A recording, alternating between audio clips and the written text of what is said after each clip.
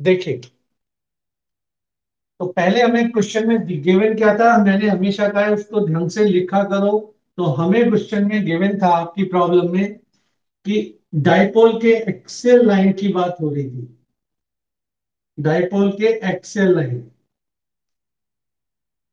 Excel line पर electric dipole का formula क्या होता है? E is equals to two P R over four pi epsilon naught R square minus A square की power whole square अब दो condition given थी आपको। फ़र्स्ट कंडीशन गिवन है कि आर की वैल्यू है ज़ीरो पॉइंट वन मीटर और इलेक्ट्रिक फ़ील्ड की वैल्यू है zero point zero two five newton पर कुलाम यहाँ से इक्वेशन आ जाएगी। क्या equation I first zero point zero two five is equals to 1 upon 4 pi epsilon naught. R की वैल्यू रख दीजिए 0.1 यहाँ आ जाएगा 0.1 होल का square minus A square whole square this is the equation number one इसके बाद आपको गिवन था सेकंड केस सेकंड केस में आपको क्या गिवन था बेटा? R that is equals to zero point two metre and electric field week हो जाएगा zero point zero zero two newton पर coulomb now place the value zero point zero zero two equals to two P zero point two divided by four pi epsilon 0.2 whole square minus A square whole square. ये हो गया equation two. और बड़ा simple method, A one को two से divide कर दीजिए you get the final answer हम अगर इन दोनों को इक्वेशन वन को टू से डिवाइड करेंगे, हमें फाइनल आंसर मिल जाएगा। अब दूसरा क्वेश्चन इसी बच्चे ने पूछा था that is based on Gauss theorem problem book तो मुझे ध्यान नहीं, पर 26 question number 26 and the problem is second part of the 26 problem I think book is ये कोई 2015 में आया हुआ क्वेश्चन है। अनसोल्ड पेपर में से या एमटीजी में से पूछा गया और बच्चे ने जो सॉल्यूशन भेजा उसमें थोड़ी सी गलती करी। क्वेश्चन है given the electric field in the region E is equals to two X I E की वैल्यू गिवन है हमारे पास E is equals to two X I तो कैसा इलेक्ट्रिक फ़ील्ड है ये? वेरिएबल या कांस्टेंट वेरिएबल बिल्कुल सही। Because X is given here find the net electric flux through the cube and charge find net flux and charge जैसा कि diagram में दिया है उस क्यूब के लिए। तो इन्होंने डायग्राम दिया था ये।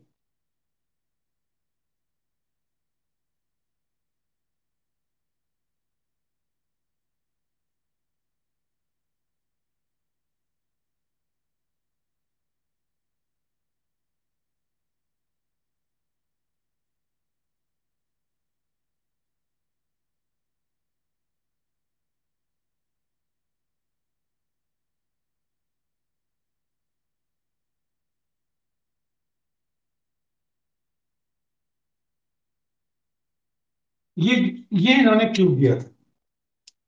बेटा, इस क्यूब में ध्यान देने वाली बात क्या थी कि इलेक्ट्रिक फ़ील्ड की डायरेक्शन क्या है?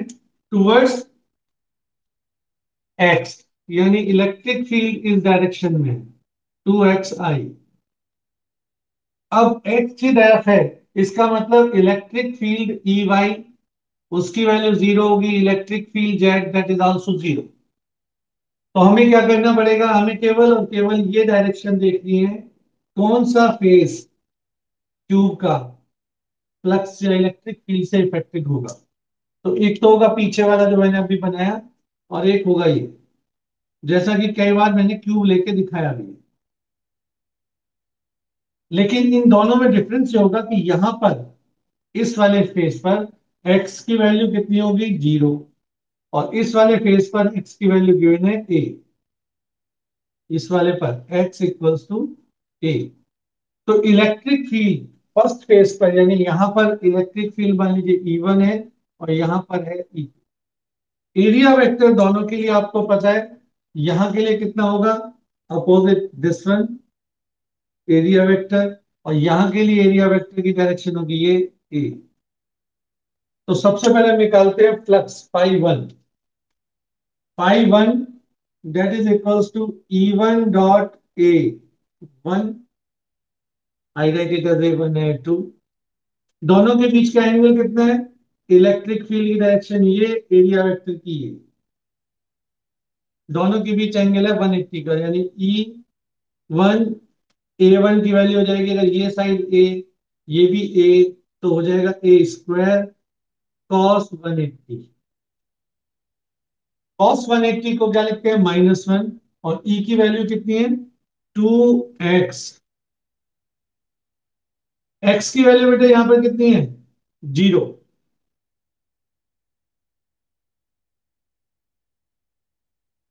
अब x की वैल्यू ज़ीरो रखेंगे इट मींस फाइव वन की वैल्यू कितनी आ गई? Zero phi one becomes zero newton metre square पर कुलम अब देखते हैं फाइव टू की वैल्यू कितनी आएगी। फाइव टू के लिए आप सेकेंड स्पेस को ले लीजिए इसको।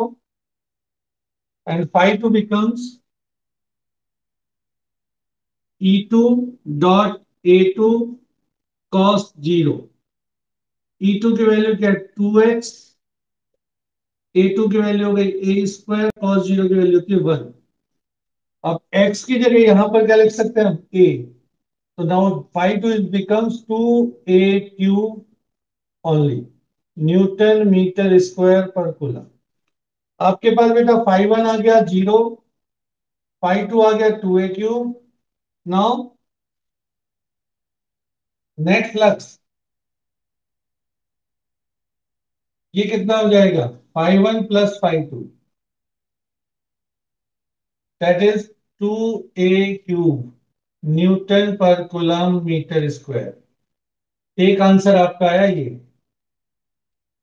दूसरा निकालना है चार्ज तो बाई गॉस थ्योरम।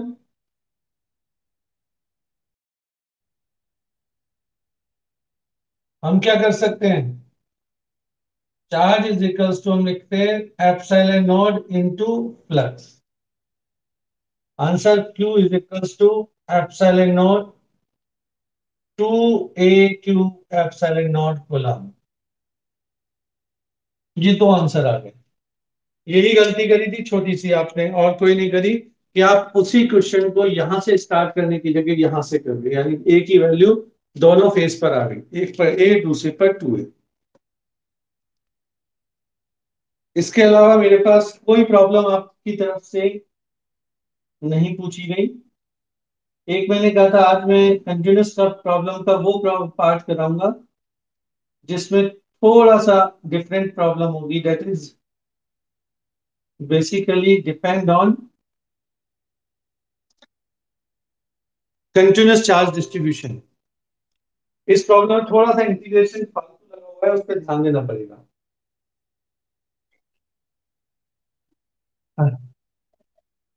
हाँ जी? ये वाली प्रॉब्लम ठीक है। द प्रॉब्लम इज़ इन्होंने कहा था कि एक क्यूब है जो कि एक्स वाई जेड पर रखा हुआ है ओरिजिन पर, जो डायग्राम में आपको दिख रहा है। और इलेक्ट्रिक फ़ील्ड की वैल्यू है two x i it means electric field vary कर रहा है। इलेक्ट्रिक फ़ील्ड लगातार चेंज हो रहा है। Electric field change with distance अगर इलेक्ट्रिक फ़ील्ड डिस्टेंस के साथ चेंज हो रहा है तो यहाँ पर अलग होगी इसकी वैल्यू यहाँ पर अलग होगी। तो हम देख रहे हो केवल एक ही डायरेक्शन में लाइक क्यूब यहाँ पर रखा हुआ है। हमारा जो डायरेक्शन है वो इस तरह से मूव कर रहा है इलेक्ट्रिक फ़ील्ड तो उस क्यूब का दो फेस काम करेंगे, एक मेरी तरफ़ जो होगा और दूसरा अपोजिट डायरेक्शन में आगे की तरफ़ जो होगा तो उन दोनों ही केस में मुझे केवल क्यूब के फेस को देखना है। लाइक दिस मैंने क्यूब ले लिया। एक फेस मेरी तरफ़ ये हो गया, जो मेरी तरफ़ है, ये वाला। दूसरा के फेस है ये ये सामने की तरफ़ है। इसका एरिया वेक्टर मेरी तरफ़ आएगा, लेकिन इलेक्ट्रिक फ़ील्ड इधर है। इसका एरिया वेक्टर भी इधर ही है इलेक्ट्रिक फ़ील्ड भी इधर ही। डिफरेंस क्या हो रहा है कि इलेक्ट्रिक फ़ील्ड की वैल्यू हर फेस पर, यानी यहाँ पर डिफरेंट है और यहाँ पर different this is called x equals to zero and electric field depends on x और यहाँ पर एक्स की वैल्यू कितनी है? ए यहाँ पर एक्स की वैल्यू ए है तो आप ए काउंट करेंगे. अब इलेक्ट्रिक फ़ील्ड की वैल्यू दोनों जगह अलग अलग हो जाएगी. यहाँ ई वन यहाँ ई टू ई वन की वैल्यू कितनी हो गई? ज़ीरो, क्योंकि एक्स की वैल्यू कितनी है? ज़ीरो। ई टू की वैल्यू कितनी हो गई? टू ए क्योंकि एक्स की वैल्यू कितनी है? ए ये मेन चीज़ है यहाँ पर। जिसके कारण सबसे पहले क्या निकाला? Phi one flux phi one कितना होगा? E one dot a one अब एरिया वेक्टर इधर है। ई वन इधर है, यहाँ पर cos one eighty that is minus one electric field की वैल्यू ज़ीरो फाइव वन हो जाएगा ज़ीरो क्योंकि जब इलेक्ट्रिक फ़ील्ड की ज़ीरो है, पहले पेज पर तो फ्लक्स भी ज़ीरो होगा. सेकेंड पेज पर हम देख रहे हैं ई टू की वैल्यू है टू ए तो that is two a x की जगह पर ए आया. एरिया की वैल्यू कितनी है? ए स्क्वायर ये कंप्लीट फेस क्यूब का जो एरिया है, दोनों तरफ़ से देखा जाएगा. भाई ये भी ए है ये भी ए है तो ए स्क्वायर हो गया। अब क्या होगा? सेकंड पॉइंट एंगल है ज़ीरो तो, तो टोटल फ्लक्स आया that is two a q now next total flux phi one plus phi two zero plus two a q that is becomes two a q and Gauss theorem sales total flux is equals to charge upon epsilon naught बीस q is equals to epsilon naught into flux तो हर question में जो flux आता है उसे epsilon note से multiply कर देंगे टोटल चार्ज आ जाएगा। ठीक है? Very good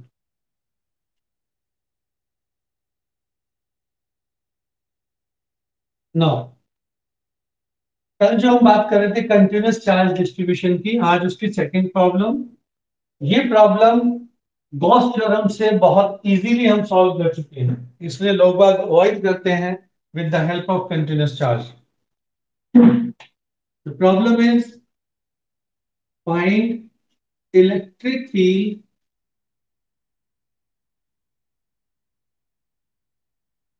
due to charged straight wire at a distance r from midpoint of y. ये कंडीशन इन्होंने दिया है। ये हम लोग कर चुके हैं बाय द गॉस थ्योरम अब यहाँ पर करके देखते हैं, देखिए कैसे होगा। मान लीजिए इनफाइनाइट लेंथ का एक स्ट्रेट वायर हो गया। ये इसका सेंटर पॉइंट है ओ और मुझे इस सेंटर पॉइंट से आर मीटर की डिस्टेंस पर इलेक्ट्रिक फ़ील्ड फाइंड आउट करना है कि किधर होगा। क्योंकि ये कंटिन्यूस चार्ज डिस्ट्रीब्यूशन है तो हम लोग क्या मानते हैं? Let the linear charge density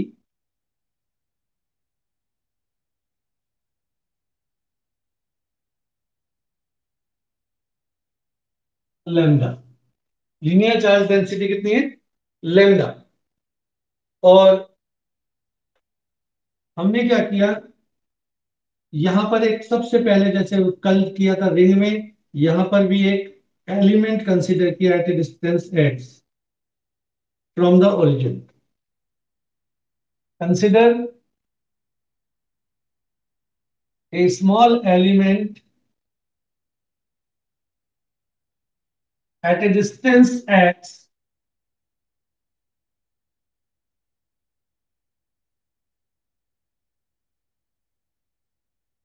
from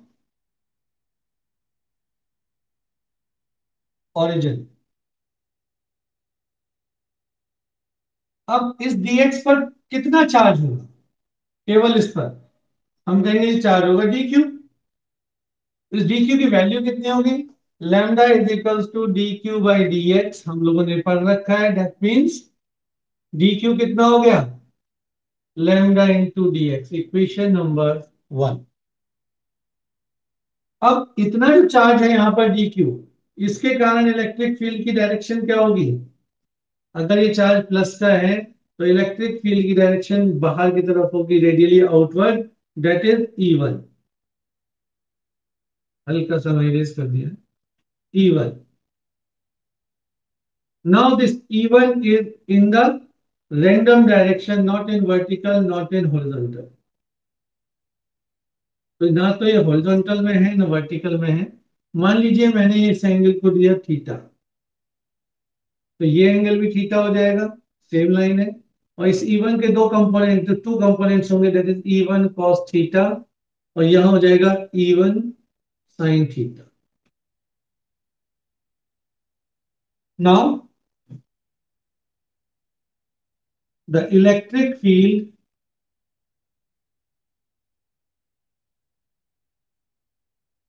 due to dx dq at point P P is कितना होगा dE is equals to charge हो गया dq upon four pi epsilon naught ये वाली डिस्टेंस यहाँ से यहाँ तक की कितनी होगी? Himanshu.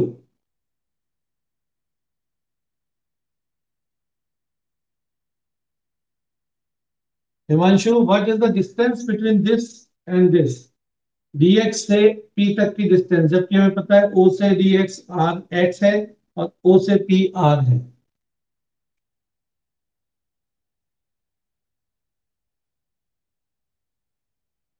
दीपेश बताएँगे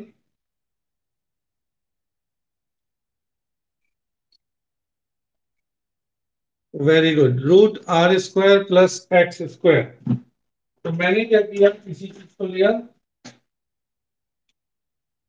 और क्योंकि स्क्वायर करना है इसका भी तो हो जाएगा x r square plus x square only under root का स्क्वायर किया, वो रूट हट जाएगा। यहाँ तक तो क्लियर है? इक्वेशन टू अब सिमिलर वे में we have to consider the same element in the other side at the same distance यानी एक्स भी सेम एलिमेंट भी सेम दूसरी साइड में भी तो इसका भी यही आएगा। E2 और उसके कंपोनेंट भी सेम ही होंगे फिर तो। Consider same element at same distance on other side. है बेटा? क्यों नेगेटिव क्यों लोगे अच्छा डिस्टेंस नेगेटिव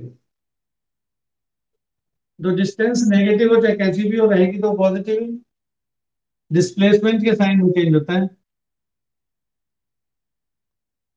बस। तो अदर साइड है, सब कुछ सेम है so the electric field also same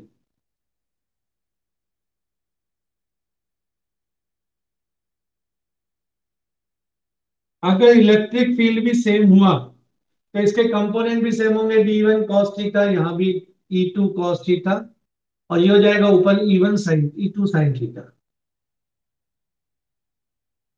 So the horizontal components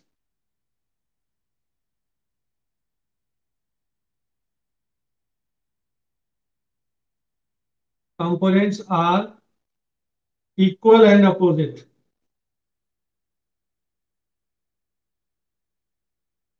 अगर हॉरिजॉन्टल कंपोनेंट इक्वल अपोजिट है तो हम क्या कहेंगे सिग्मा ई एक्स की वैल्यू हो जाएगी ज़ीरो। सिग्मा एक्स ज़ीरो होगा और वर्टिकल कंपोनेंट एग्जिस्ट करेगा। Only vertical component takes place बेटा, केवल और केवल वर्टिकल कंपोनेंट यहाँ पर होगा और उसकी वैल्यू कितनी हो गई? Integration E y is integration E one integration d E sine theta अब वैल्यू रख दीजिए ई बिकम्स इंटीग्रेशन डी की वैल्यू है d q four pi epsilon naught r square plus x square की पावर कुछ भी नहीं बनिए ये तो हुआ डी साइन थीटा की वैल्यू कितनी होगी? थीटा आपको दिखाई दे रहा है। What is sine theta theta के लिए परपेंडिकुलर कितना हुआ? आर हाइपोटेन्यूज कितना हुआ? R square plus x square तो साइन थीटा की वैल्यू कितनी हो जाएगी? R upon under the root r square plus x और डी क्यू की वैल्यू आप रख सकते हैं यहाँ पर lambda into d x so now E becomes r take common lambda common four pi epsilon naught common dx over x square plus r square की power three by two and this is equation number three यहाँ से इस integration को solve कर दीजिए, आपकी value आ जाएगी। अच्छा लिमिट कितनी होगी? आप देख रहे हो ज़ीरो से, यानी ओरिजिन से हम इधर चल रहे हैं, और यहाँ से यहाँ तक जा रहे हैं इनफाइनाइट से। एक तरफ़ इनफाइनाइट से, दूसरी तरफ़ इनफाइनाइट जा रहे हो। तो लिमिट कितनी होगी? माइनस इंफिनिटी टू इंफिनिटी कौन कर सकता है इस इंटीग्रेशन को? First note down this then we have to solve the integration इसका पिक खींच लीजिए। हम लोग फिर इंटीग्रेशन सॉल्व करते हैं। थोड़ा मुश्किल है, इस तरह का आज तक नहीं किया।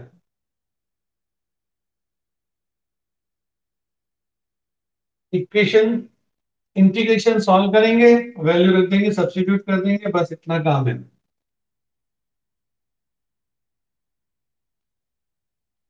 हाँ जी रिकॉर्डिंग ऑन है। अब देखिए इंटीग्रेशन सॉल्व करने के लिए E equals to r lambda upon four pi epsilon naught हमने ले रखा है यहाँ पर माइनस इंफिनिटी से infinity dx over x square plus r square की पावर थ्री बाई टू यही है ना? नो इसे सॉल्व करने के लिए हमें एजम्पशन करना पड़ेगा। मैथमेटिक्स में हम लोग आगे चल के कहेंगे सब्सटीट्यूशन मेथड कहते हैं इसे। तो let x is equal to r tan theta ये क्यों माना? मैं इसे कंसिडर करके नीचे सॉल्व करना चाहता हूँ, और हमें पता है वन प्लस टेन थीटा बराबर हो जाएगा। क्या? One plus tan square theta that becomes sec square theta तो यहाँ पर इसको रखेंगे। इसको जब डिफ्रेंशिएट कीजिए d x that is equal to r sec square theta d theta now substitute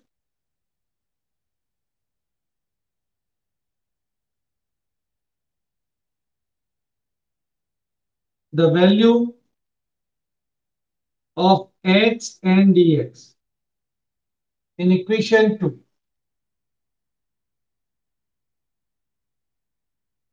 अब देखिए, दोनों की वैल्यू रखेंगे तो E becomes r lambda four pi epsilon dx की जगह पर क्या रखोगे? R sec square theta d theta divided by x की जगह पर हमने लिखना है r tan square theta x square r square tan square theta plus r square bracket से बाहर पावर हो गए थ्री बाई टू अब देखो बेटा लिमिट कितनी हो जाएँगी? यहाँ पे माइनस इंफिनिटी से इंफिनिटी टेन थीटा हम देख रहे हैं जब x की वैल्यू माइनस इंफिनिटी होगी तो टेन थीटा कितना हो जाएगा?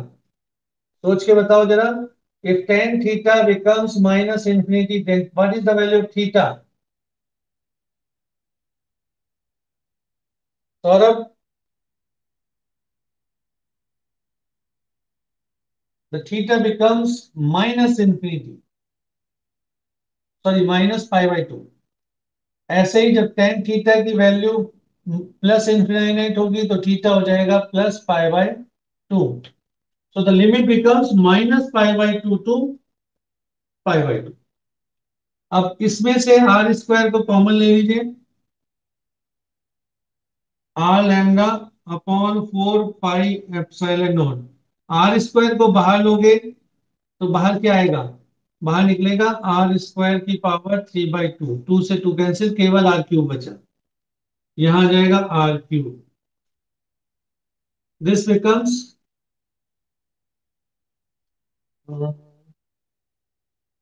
r lambda पहले से था हमारा। ये आर लेमडा पहले से ही था ना?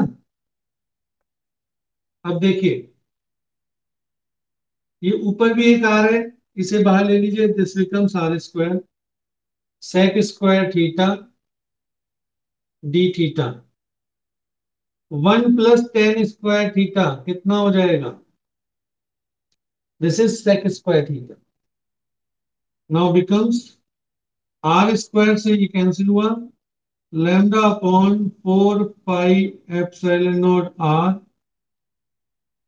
sec square theta d theta divided by sec cube theta d अब ये स्क्वायर थीटा है, इससे इसका क्यूब कैंसिल हो जाएगा। And the answer become solution becomes electric field is equals to lambda upon 4 pi epsilon naught r set theta को ऊपर लेके आएँगे cos theta d theta limit है माइनस पाई बाई टू से प्लस पाई बाई टू हर एक में limit है minus pi by two two plus pi by two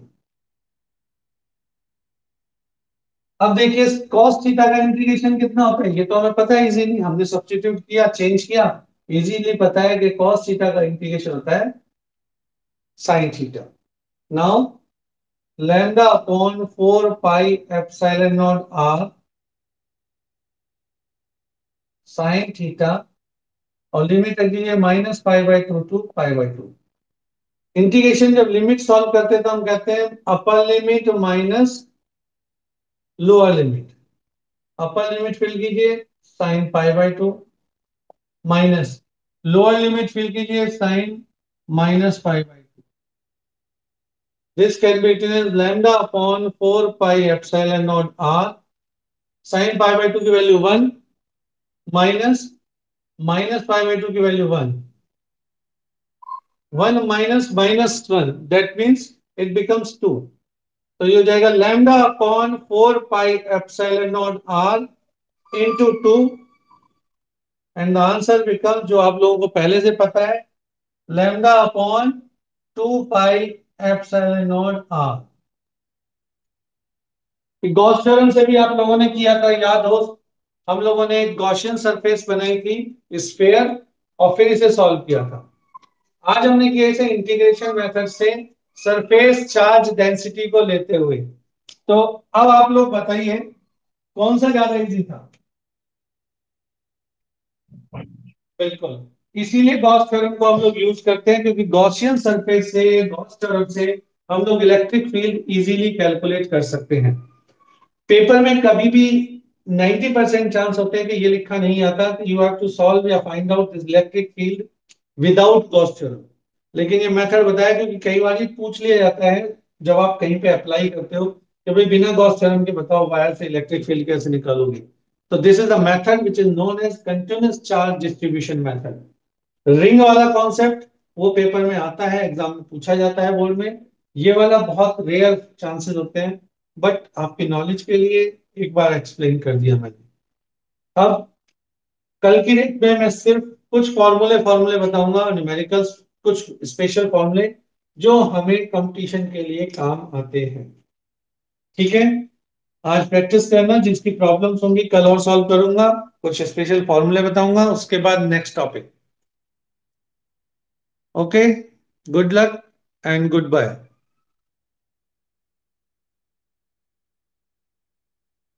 leave the class